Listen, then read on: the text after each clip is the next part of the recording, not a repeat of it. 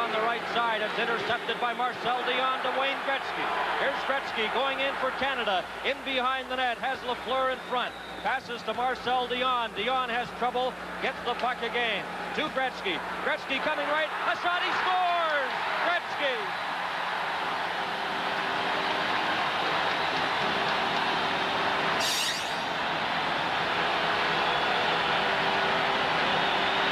Wayne Gretzky just taking his time behind that net.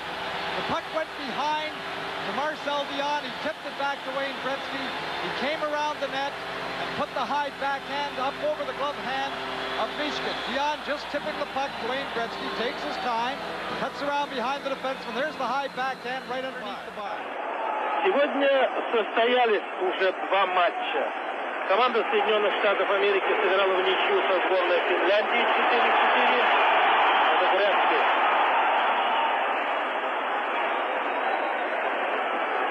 Атакуют канадцы. Вышла тройка Дион, Лефлер и Гетски. Бросок. Гол!